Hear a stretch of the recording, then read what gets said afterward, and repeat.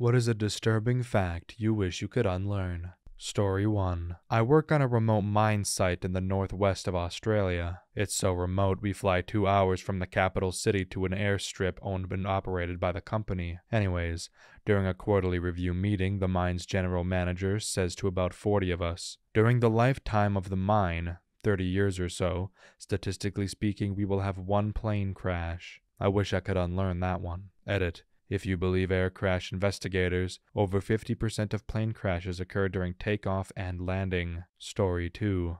There's a microorganism, globally spread but especially in warm fresh water in the American southeast, which swims up your nose and attacks your brain and spinal fluid. You present, at first, with cold symptoms. From that point, you will have about a week to correctly diagnose it, which requires a spinal tap, before you paralyze and die. Oh, and there's no FDA approved treatment. Mortality is approximately 95%. Story 3.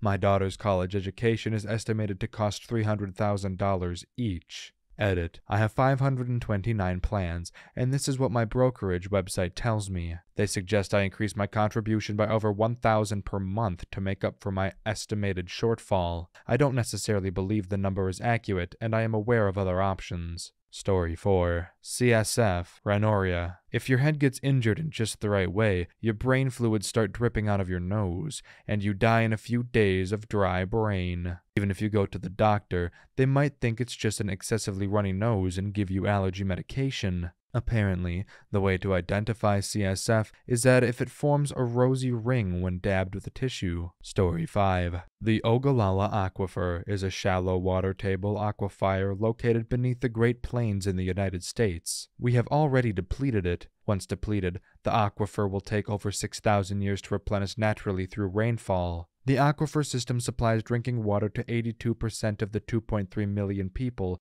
1990 census who live within the boundaries of the High Plains study area. Story 6. My best friend's mother told me this story about how some little girl was so excited to meet this very old golden retriever. She took it on a very long walk, exhausting the dog to the point that when it got back, it laid down on its bed and died. I have never wanted to slap a woman so hard before. I could have lived a completely happy life never knowing this thing, and it will haunt me forever. I don't know what's worse, the trauma it must have caused the kid, or the trauma it's causing me owing to my love of dogs. Story 7. That the Nazis did experiments on twins, where one twin would be put in near boiling water and then removed and observed to see how that twin recovered or didn't, and compare him slash her to the other twin, or perform vivisection on human beings while alive and without anesthesia or anything.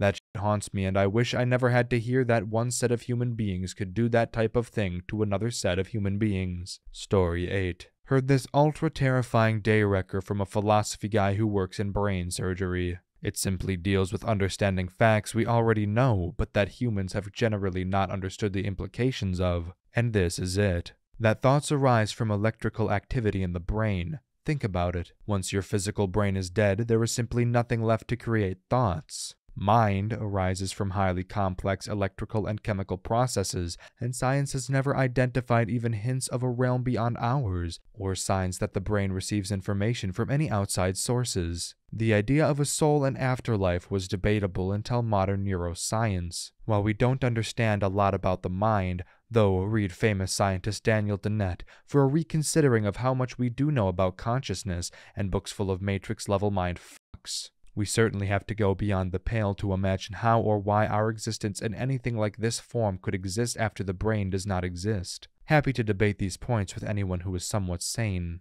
But if you have to bring religion into it, please at least consider conceding my point that it is sort of nuts to believe that we have thoughts of any kind after death. No one seems to believe we sneeze after death, and that too is a biologically based process. Story 9. There's a type of crayfish that farms sea stars by cutting all their water legs off and eating its arms all the way to the center, but leaving the center intact. It then feeds the sea star with kelp to keep it alive so it regenerates, and then repeats this process. Story 10. When the Challenger exploded in 1986, the astronauts didn't die from the explosion, nor did they die from depressurization as NASA has initially claimed. There is some evidence they turned on their personal oxygen supply. They died from the impact when they hit the surface of the Atlantic Ocean.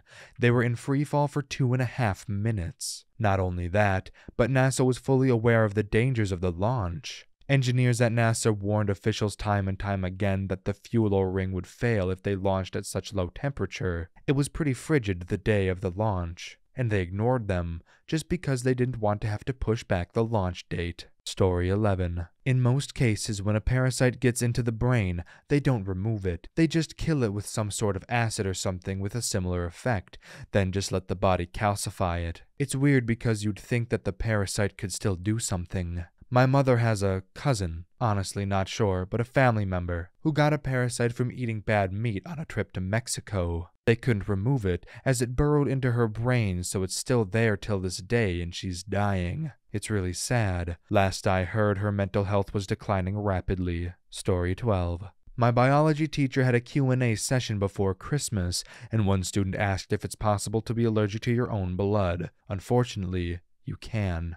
Just imagine your own immune system destroying your red blood cells, constant hemorrhaging, constantly feeling cold and out of breath. When we got back from winter break, we saw a new face in class, a former student of my bio teacher who just so happened to have this disease, and we spent the whole class asking questions. I feel so bad for the guy, but thankfully the medicine available to suppress the immune system has made his life bearable. My college roommate had a similar condition you can look up called DVT or Behçet's disease. There is medicine to suppress his white blood cells, but yeah, it's still incurable and he's going to have to take them for life. Cool part, when this dude catches a cold or something, because he's always suppressing his immune system, he has to stop taking his medicines and his Ultra WBCs fix him back up. Story 13. Jeffrey Dahmer drilled a hole into some victims' skulls and tried pouring different toxic liquids into the hole. He was trying to make a slave that could eat and drink but could in no way fight back or escape. The worst fact is that victims might survive the first hole with all brain functionality intact and live long enough to be fully aware that they were going to get a second or third hole drilled. Story 14. A man named Hisashi Ouchi in 1999 suffered immense radiation poisoning after a nuclear accident. In fact, he is known to have taken more radiation poisoning than anyone else in history. Because of this radiation, it messed up his chromosomes as well as his cells and mind system. He was kept alive for 83 days by scientists and doctors. During that time, by day 20, almost all the skin on his body had fallen off, leaving his entire body in constant pain. Later, the skin around his eyes as well as his eyelids also came off, so his eyes were always open even when asleep. His eyes would also sometimes leak blood, making it look like he was crying. His intestines were so messed up that he started to have constant diarrhea, which soon started to have large amounts of blood because his intestines were starting to decay from the inside. On day 53, his heart stopped three times, but scientists and doctors were able to restart it. He was basically only being kept alive by machines at this point, and the doctors started questioning if it would be more humane to let him die, as he was in very obvious, unimaginable, indescribable levels of pain and suffering. Some doctors even said that it was torture forcing him to live like this. Due to the radiation, almost all the muscles in his body had been destroyed. The only one that wasn't was his heart, which was still being kept alive from various machines. The worst part of all of this, that Ouchi was completely conscious throughout all of it, and while he couldn't talk due to tubes being in his throat to help him breathe as the radiation also destroyed his lungs, he was in obvious pain every time someone touched him, or even while he was just laying on his bed. And while around the two month mark, it's unknown if he even felt pain, as he stopped reacting to being touched, as well as stopped thriving in agony 24 7. His pupils still shrank when light was shown into them, suggesting brain activity. Hopefully, he did stop feeling pain by then. If not, then that makes it even worse. His body around day 80 was quite obviously to anyone at this point unsalvageable, and mold was starting to develop on his skinless body. He was even described as a corpse with a beating heart, so they decided that trying to save him wasn't worth it and pulled the plug. When they did, they studied his body and found out that his organs had all started to decay when he was still alive. All of this and more happened to one man who should have been killed out of mercy for his sake. Hisashi Ouchi has probably had the most painful, torturous, slowly agonizing death of all time. Story 15 Don't Retire in Vegas. In some states in the USA, particularly Nevada, your doctor can basically sell you to a company. If you're a senior with an untrustworthy doctor, they can throw memory loss, hysteria, confusion, etc. onto a piece of paper and hand it over to a company. This company can claim guardianship over you without ever meeting you or hearing of them. And they can take you out of your house, sell your house and all of your belongings, put you in a nursing home and have full control over your finances. They can force you to take medication every day for the rest of your life that makes you confused and unable to think clearly until you die. They can bar your family from visiting you as well, and it's all 100% legal. Before you even find out it's happened to you, there's already been a court hearing where the judge is persuaded to signing your life into some stranger's hand based on your doctor's false claims. Story 16. Surgeons used to operate on infants without anesthesia, including open heart surgery. They have stopped this, however, in the 1980s. I had ear surgery to put tubes into my ears as a young child. My parental guardian opted to not use anesthesia as she worried I would become addicted to drugs later in life. The single most painful moment of my life. It felt like sub zero ice picks were digging into my ear. It was so painful I had an out of body experience. Still did drugs later on too, so that didn't really work out at all. Story 17. There's such things as fourth, fifth, and sixth degree burns. Fourth degree means all the layers of skin at the burn site are gone. Fifth degree means muscle under the skin is damaged. Sixth degree is literally down to the bone. Yeah, I was a lot happier thinking third degree was the worst. Story 18. A queen of Scotland, if my memory's good, was sentenced to death by beheading. Bear in mind that a beheading was always seen as a quick death. One chop and that's done. She got up to the chopping block and made her prayers. The executioner took three swings to properly behead her. I recall reading how she screamed in terror and pain after the second hit cut her voice.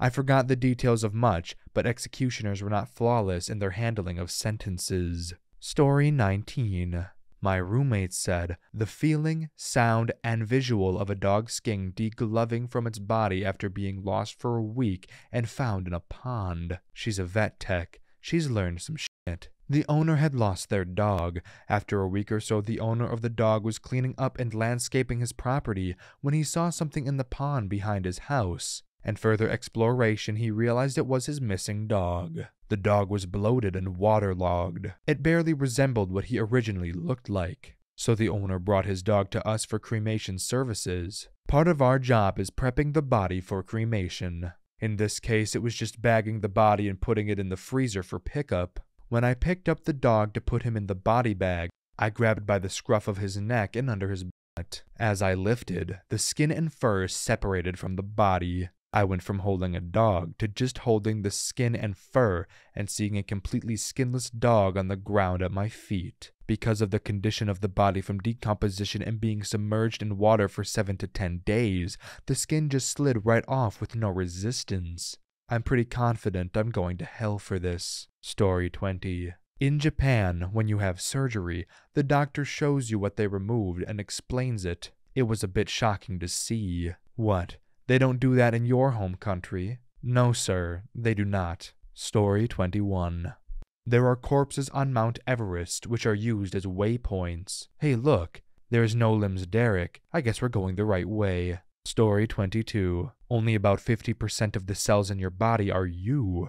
The rest are microbes that exist as part of your microbiome. Story 23. Manatees have vaginas that are the most anatomically similar to humans. Manatees may also be the inspiration for myths about mermaids, beautiful half fish women that lured sailors to their deaths. Connecting those dots has been mentally scarring. Story 24. After a human is dead, they can still technically hear you, but not understand you. The brain doesn't fully shut off until a few minutes after death. Makes me sad knowing I wasn't there to talk to my grandfather right when he died. Story 25 The Story of John Jones. the cave explorer who got stuck upside down inside Nutty Putty Caves. For close to up to 24 hours, he was jammed between two rock formations head first basically hanging upside down, unable to move. He breathed in and wiggled into a crevice thinking it got bigger and he could turn around. When his lungs expanded, he was stuck. He died because being stuck headfirst made all the blood rush to his brain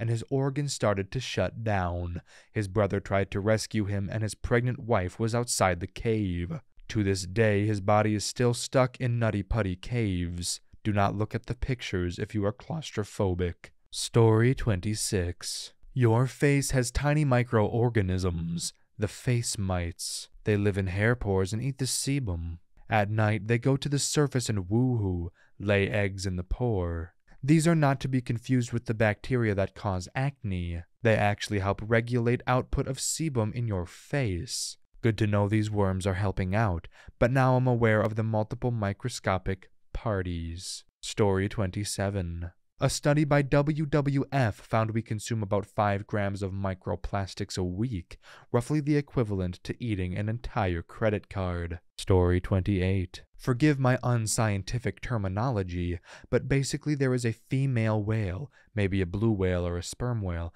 I don't remember the species at all, who was born with some type of genetic defect or physical slash anatomical abnormality something like that, that causes her vocalizations to be produced at a different sound frequency than the other whales of her species. Because of this, the other members of her species cannot hear or perceive her vocalizations. So this poor whale has spent her whole life wandering through the world's oceans all alone, trying to unsuccessfully communicate with other whales who basically don't even know she exists. Story 29. There are these things in space called gamma ray bursts that are created when neutron stars collide and create black holes. They travel at the speed of light, and if they hit Earth, would most likely cause a mass extinction of humans. They are undetectable and could strike at any moment. Story 30. Chainsaws were originally meant for childbirth. Penguins have teeth on their tongue. Chickens can sneeze. McDonald was accused for having either human or horse meat. Everyone here is talking about the meats and chicken, but what is this about baby chainsaws? Here's what I found on Google. Two doctors invented the chainsaw in 1780 to make the removal of pelvic bone easier and less time consuming during childbirth. It was powered by a hand crank and looked like a modern day kitchen knife with little teeth on a chain that wound in an oval. Story 31 Etymologists who study roaches often become allergic to roaches during their career around the same time they become allergic to pre ground coffee. Story 32. Unlike most people with phobias, I can trace mine, worms, back to a single childhood trauma, namely hearing this. I was at school aged 10. We'd all had a nurse visit the school and give us a vaccine in the morning. And come the afternoon, we were all bitching about having sore arms. Our teacher reprimanded us for being ungrateful for the NHS by way of the following story. When her grandmother was a child, pre socialized health care, she lived in a poor rural area. You didn't call a doctor unless you were literally going to die, because it was so difficult to get hold of one and it would bankrupt your family anyway. The kids around there were prone to tapeworms. Standard cure for tapeworms was as follows Get some steamed fish and put it in a bowl. Tapeworms apparently love steamed fish. Yum yum. Get child to sit with the bowl in front of their open mouth. Tapeworm smells the yummy yummy fish and comes up to get it. It was over 25 years ago that I heard this story, and it still makes me feel physically ill. Postscript to the incident is that when I went home from school, my dad commented that I looked a bit pale, but I was too freaked out to tell him what was wrong. He then put a plate of tagliatelle in front of me. Story 33 the US had performed secret experiments where they tested mustard gas on over 4,000 of their own soldiers, especially black and Puerto Rican soldiers. Because the experiments were classified, the victims didn't even tell their doctors what happened to them, so survivors couldn't get the treatment they needed. Story 34. Before humans went to space, they would send animals, dogs, turtles, monkeys, etc. The problem with that is that they never bothered to think how they would get back, so a lot of animals just died up there, alone. Story 35 There were human zoos back in the 1800s and even early 1900s. Yes, at some point in time, people of color were put on display at human zoos for people to see them, since they were considered exotic in Europe.